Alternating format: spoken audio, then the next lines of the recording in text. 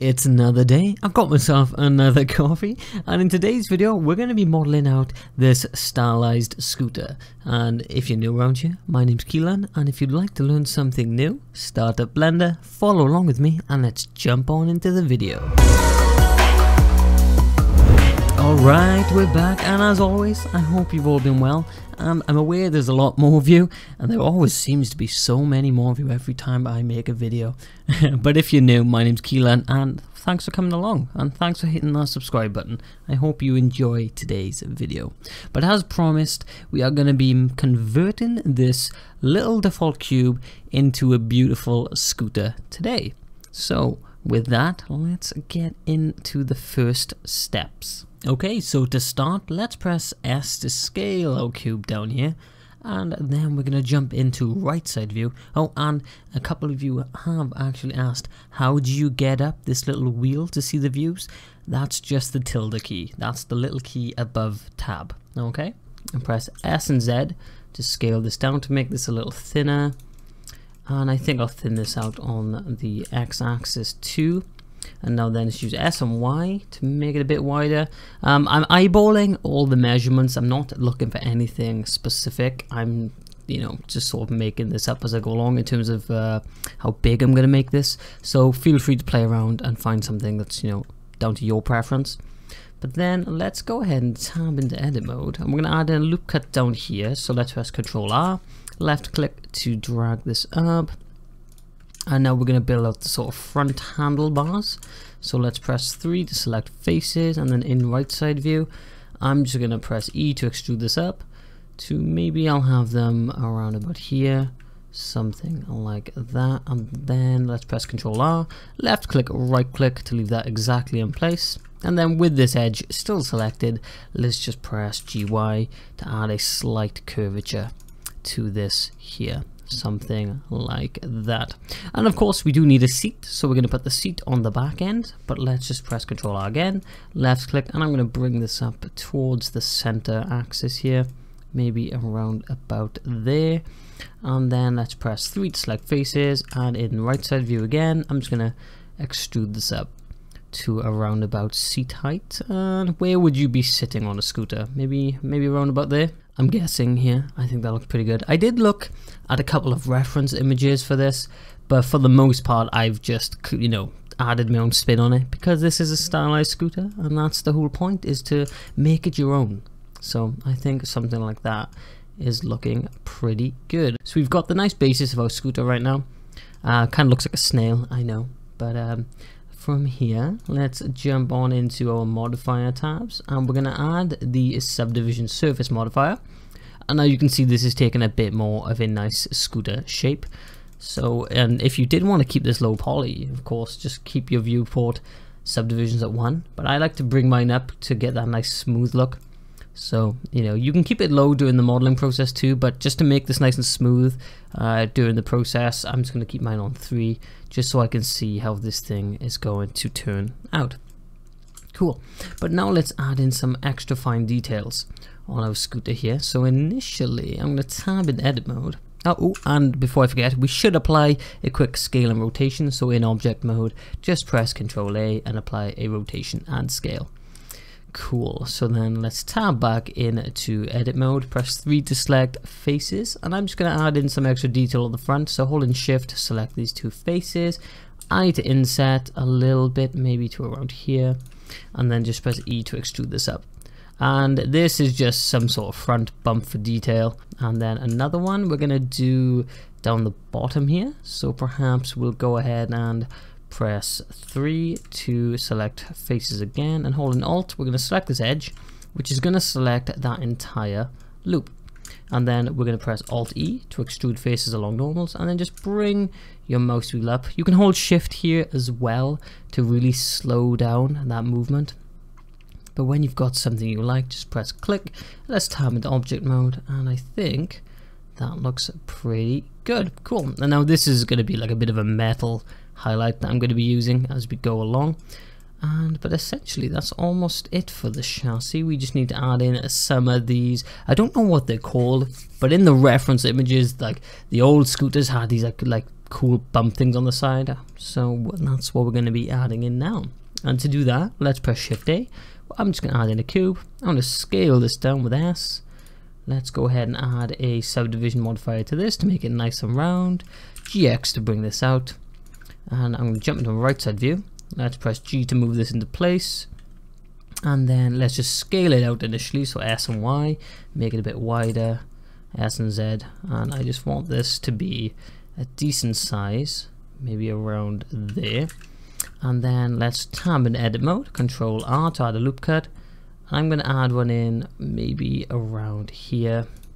And then press 1 to select vertexes. And I'm going to select all four down here just so I can bring this up. Oh, in fact, I could probably just select the face. So press 3 to select faces, select this face, and then in right side view, press GZ just to bring this up a little bit.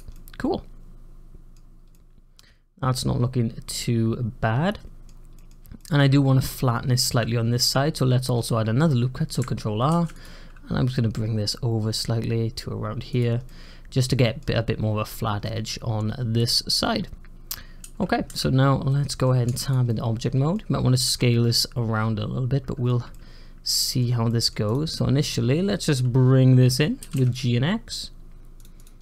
I'm not too sure if it's too large right now. How do I feel about this? Hmm, let's scale this down ever so slightly. And perhaps line it up so it looks pretty decent. And then I'm also going to add a mirror modifier in my modifier list. Mirror it across the object here and I do like to pick my mirror modifier above all the rest. Perhaps increase my subdivisions just so I can see how this is going to turn out. Okay that's not looking too bad. I also want to add a bit of extra indent around here so tab back into edit mode. Press 3 to select faces. Hold alt select this edge again to get that nice full loop and let's press alt E extrude face along normals and something around there. I'm also going to press GZ just to kind of eyeball line this up with the body. I'm not going for anything perfect or exact here. But I do want this to kind of line up with this, so I'm also going to tab in edit mode on this.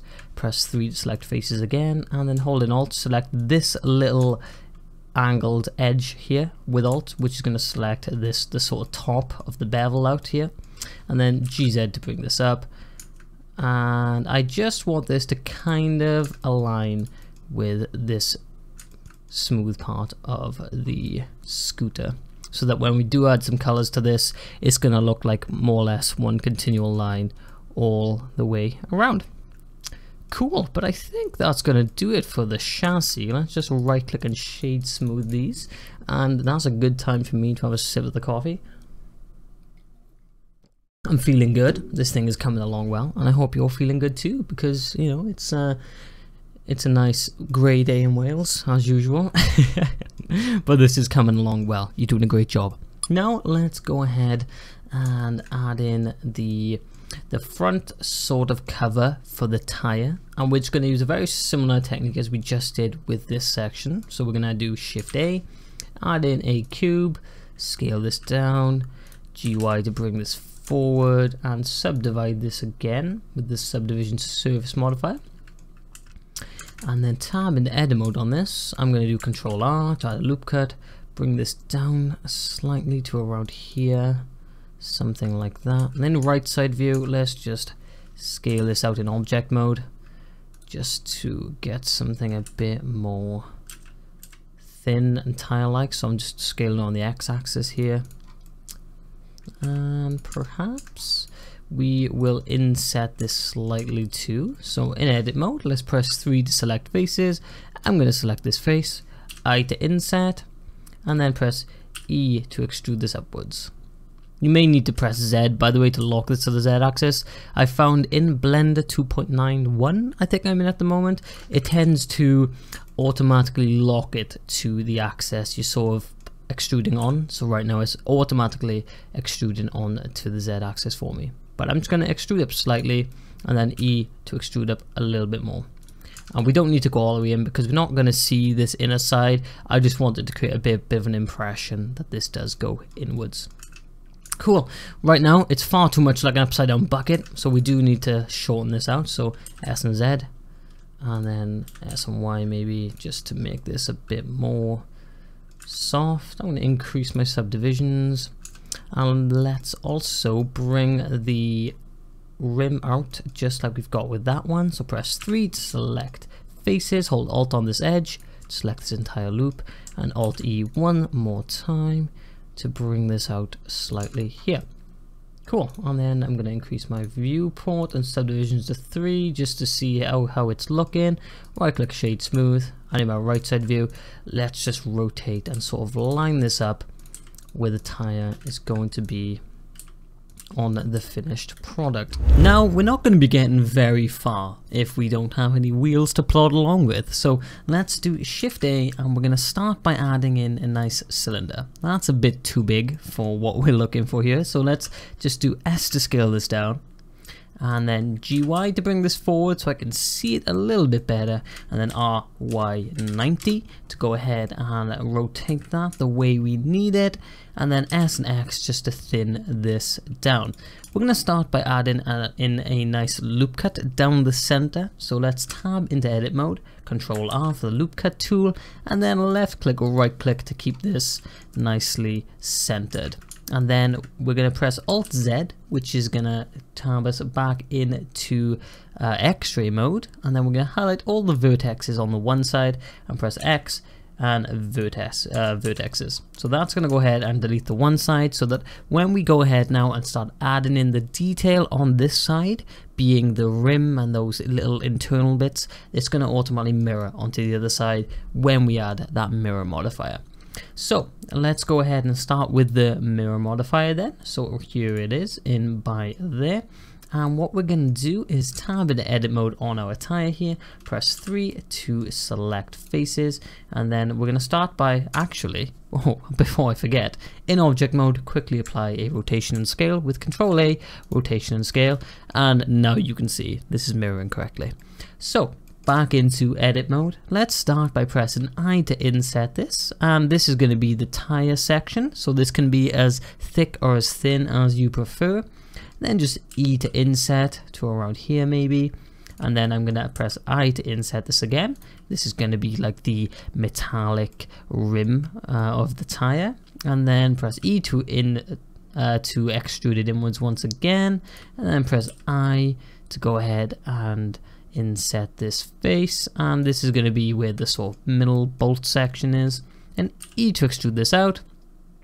And then it's up to you how much detail you'd really like to add. But I'm just going to uh, press I to inset this one more time and then E to extrude this one more time and I to inset this one more time and at this point you've got like a nice low poly wheel but I'm going to add in some extra bevels to create a nice smooth surface and make this look a bit more stylized. So I'm going to press 2 to select edges and then pull, while holding alt select this loop press Ctrl B and that's going to give us a nice bevel. You can scroll your mouse wheel up and down to control how much of a bevel you want. I'm going to add what's that one two three just to get a nice smooth surface like that and I'm also going to bevel this uh, little edge here a little bit and perhaps we'll do the internal one slightly too but I'm going to bring my uh, loops down to one something like that. Okay cool. Now we can right click and shade smooth this and that's going to make it look like we've lost a whole bunch of details. So let's come into our object data properties here turn on auto smooth and that's going to make sure that we keep a lot of that detail and I do like to go ahead then and add a subdivision surface modifier to this too, to really smooth that out. And I'm just going to bring my subdivision surface modifier up. And perhaps what would it look like when we have three? That is very smooth. We are losing a bit of detail on the rim. So this may be a situation where you want to come in and add some additional loop cuts to tell Blender to give this a bit more of a hard edge. So let's do that now. I'm going to tab into edit mode here and I want this one just to be a bit more of a harsher edge. So I'm just going to press Ctrl R here to add in a loop cut and bring it a bit closer to the edge. And perhaps do the same here, Ctrl R, and bring it a bit closer to the edge. And that's telling Blender now that I want this to be a bit more of a harsher curve. I'm going to do one more inside this internal area. So tab into edit mode. X-ray mode is sometimes easier to see what we're doing. So I'm going to do control R here and just bring this up towards this edge. And just like that, the the sort of detail is a bit more prominent, but we are still getting that nice smoothed over appearance.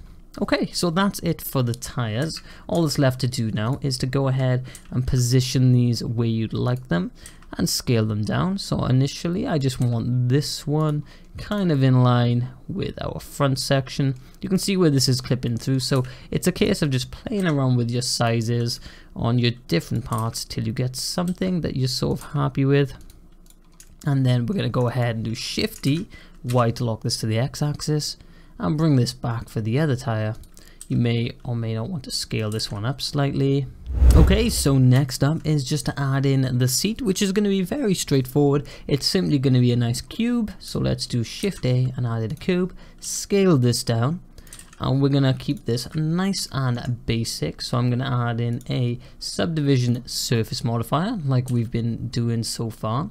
Scale this on the Y axis a little bit and then tab into edit mode and we're going to add a nice loop cut down the center just to give us a bit more geometry so control R and left click or right click to keep that nicely centered. Right now it's a bit fat so so let's tab back into object mode mode. I'm going to do S Z to make this a bit thinner and then back into edit mode. And what we're going to do is I'm going to press 1 to select vertices alt Z to go into vertex select mode. And I'm going to select this side and just bring it down to give it a bit of a decline towards the front section here. And then bring this one back slightly and I think I'm going to bring the whole top down too so selecting all of the top section. GZ just to make this a bit thinner. And perhaps bring the middle section up slightly. And I'm just going to go and play with the shape slightly till we get this nice sort of gradient towards the back that gets a big bit chunkier. And I also want to make it a little bit thinner in the front so let's tab back into edit mode. Press 3 to select faces select this front face and with the proportional editing tool so click this up here to turn that on I'm going to scale this down slightly and you can scroll your mouse wheel in just to reduce the area of effectiveness and I'm just going to give it a slight gradient towards the front too so that it gets a little bit thinner towards the front also. And you may want to bring this in slightly into our scooter and then I'm going to increase my subdivisions just so I can see how this is going to look and I think something like that will do for the seat. So just right click and shade smooth this now when you're ready and we can progress on to the handlebars. Now to do the handlebars we're just going to simply add in a couple of cylinders to give us that sort of metal handlebar look. So to start, let's do shift right click up here just to move our 3D cursor to this point. And let's start by doing shift A and I'm going to add in a cylinder. I'm going to bring this right down till we get something a bit more the size I want and then SZ to bring this up on the Z axis and a quick tip is you can actually press S and shift Z to lock the Z axis here to adjust the thickness as you go along. And I'm going to go into right side view because I want this to angle a little bit towards the driver. And perhaps also angle this out slightly here something like that. Right click shade smooth. And, and that's going to be one part of the handlebar. I do want to mirror this across too actually. So my mirror object is going to be the base. So that's the start of this here and now let's add a nice central horizontal uh, section which is going to be where you grip onto. So let's do this by I'm going to duplicate this one cylinder we have already so with shift D and then alt R to reset that rotational axis. And what I'm going to do is I want this nice and centered. Right now a 3D cursor isn't in the center so I'm going to select this part right here, which I already know is centered to the world. So let's do Shift S, cursor to selected. Now my cursor is nicely in the center. I also need to turn off my mirror modifier here. And with this cylinder selected, I'm quite simply going to do Shift S and do selection to cursor. And that's going to make sure our, our cylinder comes nicely to the 3D cursor and it's centered perfectly in our world. Alright, now then let's do GZ to bring this up. Uh, R 90 degrees into our right side view and then let's line this up.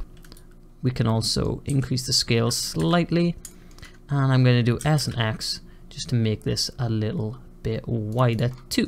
Something like that. Is that too wide? I'm not too sure. just I'm just eyeballing this as we've discussed. You know, you do what makes you happy at the end of the day and if you feel happy with it then I'm sure it's looking great. So from there let's shift D to duplicate this, right click to leave in place, GZ to bring this down and I'm going to create a bit of a smaller central bar and then S and X to bring this in, jump to our right side view again just to centrally line this up and scale it down just so we have this sort of metal bar look going on. Cool. And now what we need to do is to put the sort of rubber grip sections on here. So, okay, so I'm going to make this a bit bigger. And then tab in edit mode. Initially, I want a nice loop cut down the center, ready to mirror this across. So control R, left click, right click. And then let's add a, oh, I tell you what we can do. We can press 3 and then Alt Z to go into X-ray mode and we're going to start by selecting this entire right side. Shift D to duplicate right click to leave in place and press P selection just to make this a separate piece. And leave it exactly where it is because all we're going to do at this point is to do S and X to shrink this down G and X to bring this across till it sits around about on top something like that. And you are going to get this funny looking mesh. This is just blender not having a clue which one you want to see because they are technically in the exact same place in space which we do not want. So we're going to press S to scale this up slightly and now we can see our rubber grip. Okay, so from here, let's tab into edit mode, control R to get our loop cut tool up again, and I'm just going to put the one loop here, and then pressing 3 to select faces, hold Alt, select this loop, and Alt E, extrude faces along normals, just to extrude this section up, just like that. Cool.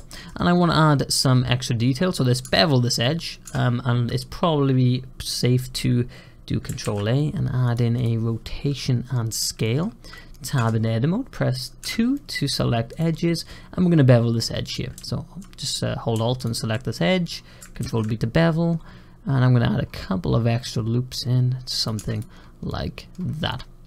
Okay, cool. Now we just need to mirror this across, and so let's add in a mirror modifier, mirror, and in our mirror object, make it the cylinder. And right now you're probably thinking, well, where is my grip? Well, the problem here is that we need to apply a rotation to our cylinder because right now it's not too sure which way is up. So let's do Control A and apply a rotation and scale. And would you look at that? There it is. Cracking. now we're losing some detail here again. You can, if you like, also add a subdivision surface modifier to this. It is going to try smoothing this over, so let's add another loop cut in here, Control R, and bring this close to the edge just to keep that definition. Something like that. Alright, it looks like we've only got one more part to do today, and that's to build out the little light that goes on the front, but um, before we do, let me just... I, I've decided to eat my banana mid-tutorial. I don't know why, but I just I like to remind you guys to take breaks from the screen. I'm looking out my window now. Some beautiful trees out there. I'm eating my banana, and I, it, you know, just relish this moment. You're doing you're doing amazing. You know, you're doing this. Now let's finish this up. Add in a nice pretty light on the front and add in some color before we see how this thing has turned out. So let's resume where we what we were doing. So let's go ahead and do Shift A. I'm just add in a cylinder. I'm going to scale this down, bring this up, and then scale this down on the Z axis with S and Z. Bring this out to G and Y, and we can model this out quite big first. So let's go ahead and apply a rotation and scale with Control A. Tab into Edit mode, press 3 to select faces, and I'm going to start by doing E to extrude this up, S whoop, make sure you turn off your proportional editing tool, S to scale this up, E to extrude again, and then I to inset, and then E to extrude this up. and then uh, with this face selected we're quite simply going to do control B to bevel this. And you want to add a couple of extra loop cuts in here to make this nice and smooth looking. And then we can do control uh, I mean right click shade smooth come into our object data properties and make sure you turn on auto smooth and normals. And now this is going to be a, a nice basic light. We can go ahead and rotate this scale it down to a good size and then stick it on the front of our scooter to make sure that we have a nice light that we can go ahead and see with.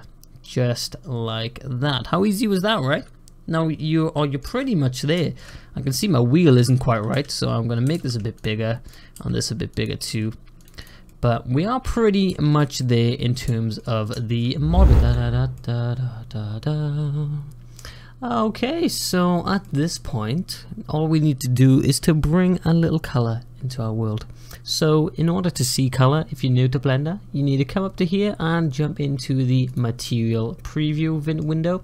And in your drop down, you've got a couple of, you can click on, on this here. This is going to give us a couple of HDRIs to work with while we add some color. I like this one. This adds a nice little two-tone effect while, while we work here. But in order to add color, all we need to do is to click on our, well, any part really, and in our little circle down here, this is the material properties, click new, and then you can name your material. I'm just going to call this base, and then just go into your base color here. We've got a nice color picker, and I'm to go for like a reddish color. And then you can adjust the roughness to make it really shiny or really rough. I'm to go for like 0.65 something like that and then when you click on another object and you want to use that material you jump into your drop down and click on that color but I did say I want to include some metal highlights too so I'm gonna press forward slash just to isolate this section briefly and let's tab into edit mode and I'm gonna press the plus arrow here and create another new texture that I'm just going to call metal and we want to use that at certain parts here. Initially, for me, I want this like bar area at the bottom. So I'm going to press 3 to select faces and then hold Alt and select this entire loop. And I think I'm going to do the same here. I'm going to hold Alt, Shift, select this loop also. And then with this metal selected here, click Assign, and that's going to make sure that only that section is currently featuring this material. And now let's make it look like metal. So Let's scroll down here. So you'll notice this metallic meter, very convenient. We just turn this bad boy up. And now he does look a little bit more metallic, you can't really tell too much, but if I turn my roughness down, you get more of that shiny appearance. And I'm also going to lean my base color ever so slightly into the blue to give us more of a silvery color just like that. Now if I press forward slash, that's going to bring everything back. And we can do the same over here too, forward slash to isolate this section, tab into edit mode, and I already had it selected there, but just to go through it one more time, we're going to hold Alt and Shift to select this one, keep holding Alt and Shift, select this one, and then click the plus to create a new texture. Uh, we want our metal that's currently in our drop down, metal, and click assign and then forward slash to bring everything back. Just like that, we've got the materials coming along.